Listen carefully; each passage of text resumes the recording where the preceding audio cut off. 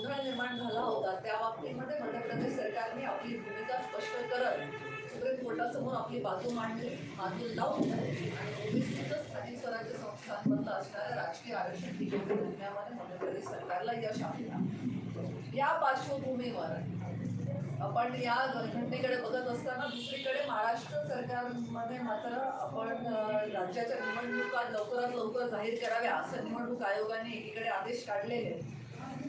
त्या आदेशांमध्ये पावसाचा विचार करण्याची फुरसत आपल्याला आहे परंतु ओबीसीचं जे हक्काचं राजकीय आरक्षण होतं ते हिरावून निर्लेलं असताना या राजकीय दुष्काळाकडे मात्र संवेदनशीलपणे सरकार बघताना दिसत नाही.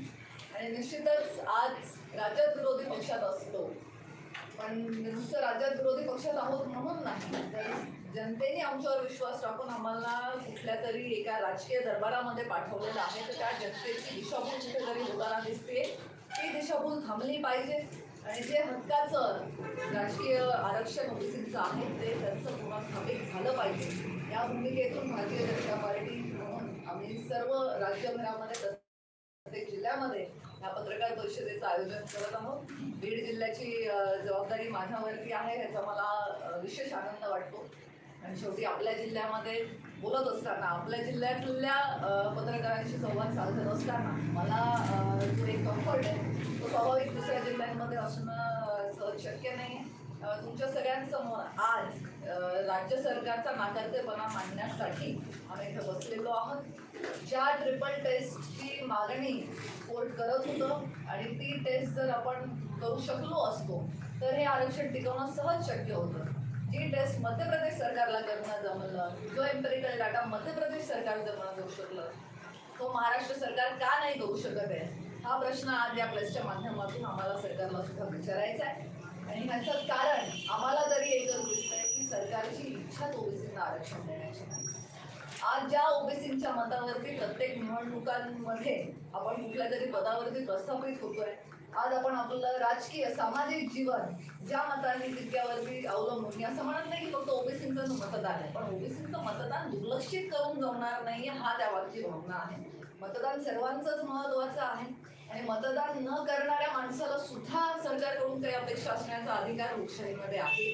तर या सगळ्या गोष्टींची जाणीव ठेवून आज हे जे सरकारनी अक्षम्य जे दुर्लक्ष केलेलं आहे या विषयाकडे त्या विषयाकडे लक्ष वेधून घेण्यासाठी भारतीय जनता पार्टी म्हणून आम्ही सातत्याने प्रयत्नशील आहोतच. मागच्या वर्षी मी पंकजाताईंच्या नेतृत्वाखाली राज्यव्यापी चक्काजाम आंदोलन केलं होतं या प्रश्नावर आवाज उठवण्यासाठी. यापुढच्या काळातही जर सरकार वेळीच आपली भूमिका सरकारने सावधगिरीची केली नाही तर यापेक्षाही मोठ्या आंदोलनाचं काम आणि सातत्याने जोपर्यंत न्याय मिळत नाही तोपर्यंत हा विषय उठवण्याचं काम भारतीय जनता पार्टीच्या माध्यमातून होत राहील. इच्छाशक्ती असेल तर मार्ग नक्कीच मिळतो जी इच्छाशक्ती सन्माननीय शिवराज सिंग चव्हाण यांनी दाखवली ती इच्छाशक्ती आज आपल्या महाराष्ट्रामधलं महाविकास आघाडी सरकार दाखवत आहे का?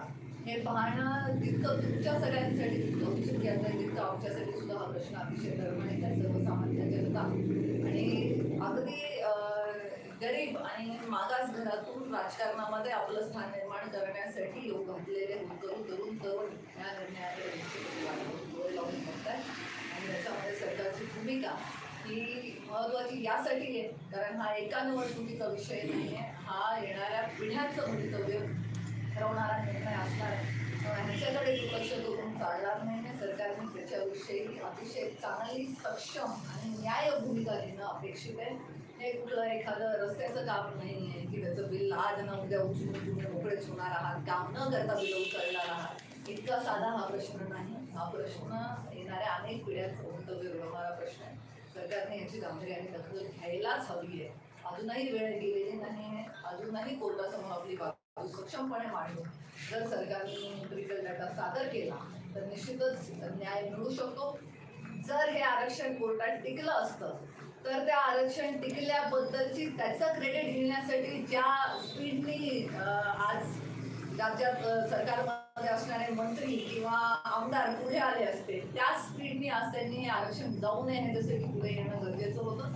जर समाजाच्या जीवावरती आपण आपल्या आयुष्यामध्ये चांगल्या स्थानावरती पोचत असू तर त्या समाजाच्या भावनेची कदर करणं ही सुद्धा आपली जबाबदारी आहे. मी जेव्हा समाज म्हणते तेव्हा मी सोसायटी म्हणते मी अमुक एक जात किंवा धर्म म्हणत नाही जो समाज तुमच्या आजूबाजूचा असणाऱ्या सर्व जातीचा निर्माणचा जेंडरचा समाज तुमच्या पाठीशी उभा असतो. त्या समाजाची दिशाभूल करणं त्यांना खोटी आश्वासनं देणं. हे निश्चितच मला वाटतं हाही एक गुन्हेगारीचाच प्रकार आहे. आणि ह्याला क्षमा नाही.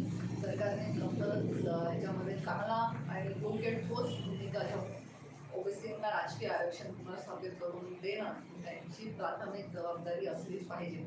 अशी मागणी मी या माध्यमातून करते. आणि माझं निवेदन आहे. आपल्याला काही प्रश्न असले तर असं कळतंय की भाजपचं शिष्टमंडळ जे आहे ते पंकजाताईंच्या नेतृत्वाखाली मध्य प्रदेशमध्ये जाणार आहे आणि या सगळ्या ज्या पार्श्वभूमीवर मध्य प्रदेश सरकारने काम केले त्याचं अवलोकन करणार आहे माहिती गोळा करणार. काय सांगणार? या माहितीचा तुमचा सोर्स काय आहे ते मला आधी सांगा. मला कल्पना नाही असेल असेल तरी कारण आपण जर याकडे पाहिलं तर भारतीय जनता पार्टीचं शिष्टमंडळ मध्य प्रदेशमध्ये जाऊन ते फायदा होणार नाही. कारण दुर्दैवाने भारतीय जनता पार्टी आज राज्यात सरकार आहे आम्हाला तर कल्पना आहेच मध्य प्रदेश लोक काय करत आहेत. त्याचं अवलोकन करण्याची गरज महाविकास आघाडी सरकारला आहे. त्यांनी शिष्टमंडळ बनवून त्यांनी जाऊन अभ्यास करावा मध्य प्रदेशला भारतीय जनता पार्टीला करण्याची आवश्यकता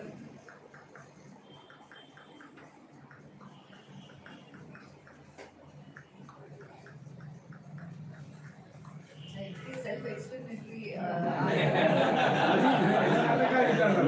मला प्रश्न नाही पडतात फेवरेट प्रश्न तर विचारतच नाही आहे. महाविकास आघाडी सरकार केंद्राकडे बोट दाखवते विचार विचारा केंद्राकडे त्याच्यावर काय वाटतं आपल्याला मागचं प्रश्न उपस्थित केला काय वाटतं अतिशय चुकीचं आहे. कारण केंद्राकडे कोण तुम्ही कशासाठी दाखवताय? तुम्ही ओबीसी जनगणनेची मागणी करताय. त्याचा इम्पेरिकल डेटाशी संबंध नाही. ओबीसी जनगणनेच्या व्यतिरिक्त जर ओबीसीचं राजकीय आरक्षण टिकवणं अशक्य असलं तर मध्य प्रदेश सरकारला ते कसं का महाविकास आघाडी सरकारचं असं म्हणणं आहे की मध्य प्रदेशकडे काही स्पेशल चॅनल आहे की ज्याच्याकडून त्यांच्याकडे ओबीसीची जनगणनेची माहिती पोचते आणि महाराष्ट्र राज्य सरकारकडे पोचत नाही नियम तर दोन्ही राज्यांना सारखेच होते. म्हणजे जे कारण मध्य प्रदेश पुढे करत नाही ते कारण महाविकास आघाडी सरकार महाराष्ट्रात का पुढे करते हा प्रश्न आम्ही तर विचारतच आहोत. पण मला म्हणत आहे की प्रसारमाध्यमांनी सुद्धा हा प्रश्न विचारण्याची आवश्यकता आहे. केंद्राचा याच्यामध्ये कुठलाही बोल नाही आहे केंद्राकडे बोट दाखवणं म्हणजे आपला दोष कुठल्या तरी दुसऱ्या माणसाच्या डोक्यावरती थांबत बघण्याचं हे काम आणि हे करणं आता सरकारने बंद केलं. मला विचारायचं आहे.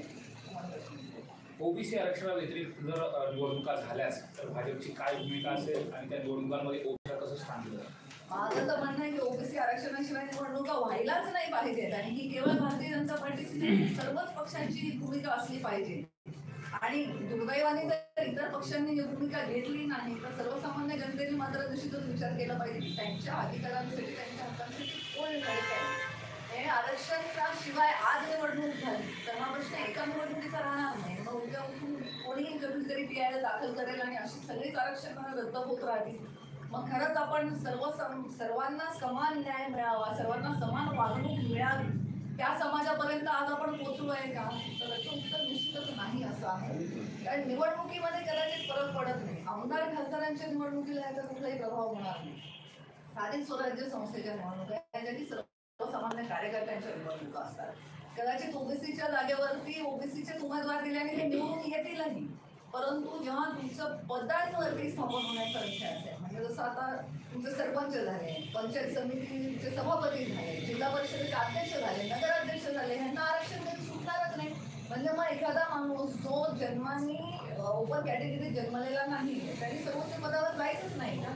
आणि हे ठरवणार कोण? तर हे कुठली तरी खोडसाळपणे कुणीतरी केलेली पी आय एल आणि त्या पी आय एलचं सक्षमपणे उत्तर न देऊ शकलेलं अकार्यक्षम सरकार जबाबदारी फार मोठी आहे आणि ते घेऊन सरकारने योग्य भूमिका घेणं गरजेचं आहे. या अगोदर देखील नगरपंचायत एकशे पाच नगरपंचायतच्या निवडणुका झाल्या. त्यात देखील असं बोललं गेलं होतं की निवडणुका होऊ देणार नाही झाल्या मात्र. त्या ठिकाणी देखील ओबीसीला डावलून निवडणुका झाल्या आता देखील तीच परिस्थिती आहे.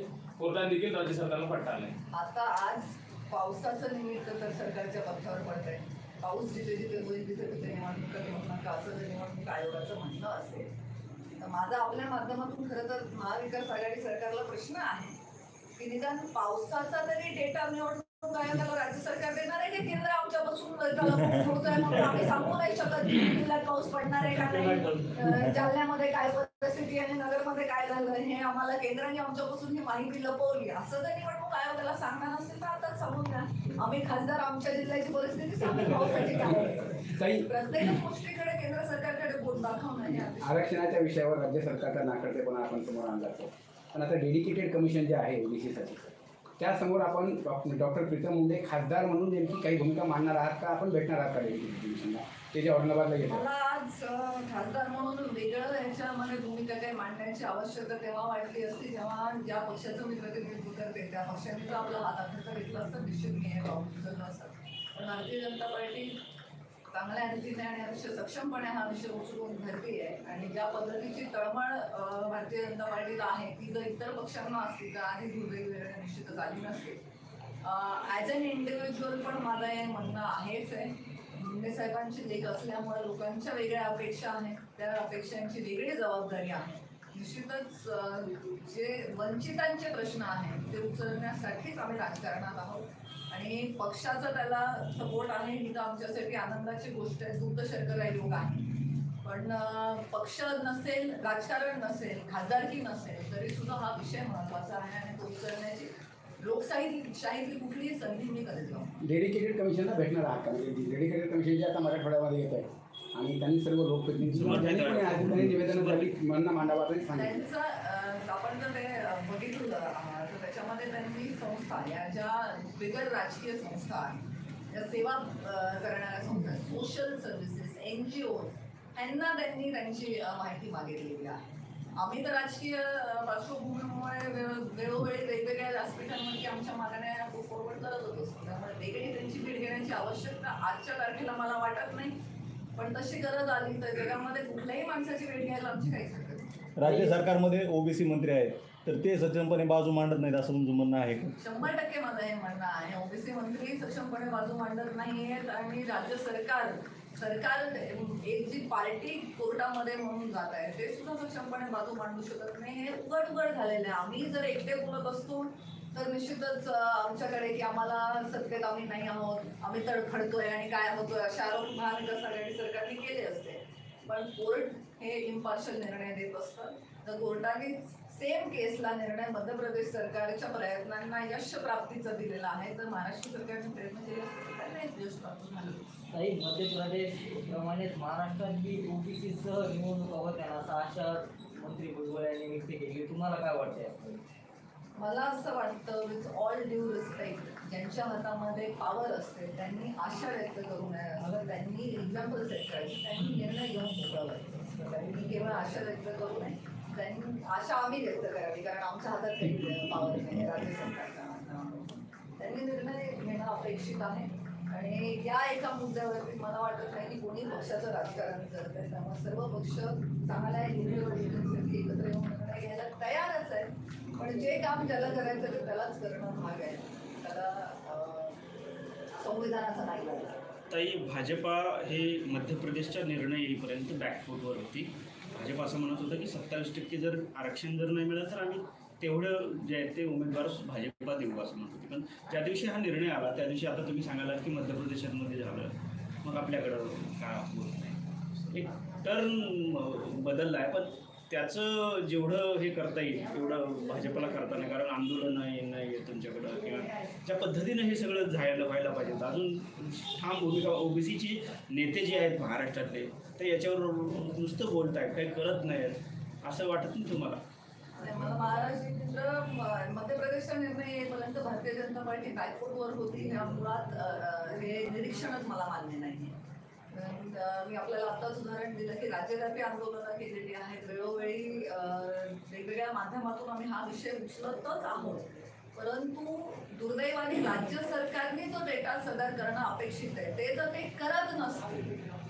तर त्या परिस्थितीमध्ये आम्ही याच्यामध्ये काय करू शकतो? केंद्राचा तर ह्याच्यात काही हस्तक्षेप नाही. जर राज्य सरकारने त्यांची करायची कामं ते पार पाडणार नसतील आणि दुर्दैवाने निवडणूक आयोगाने आता निवडणुका लावल्याच आणि कोर्टाने त्याच्यामध्ये पुढे लांबवल्याने ओबीसी आरक्षणाच्या विषयावर.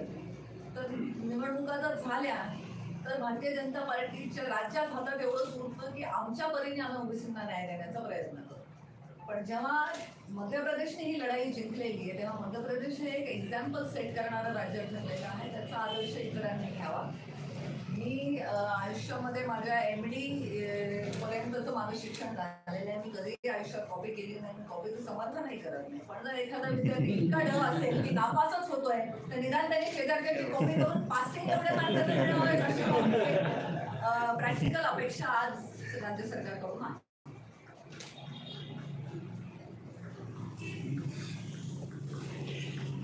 महागाईचं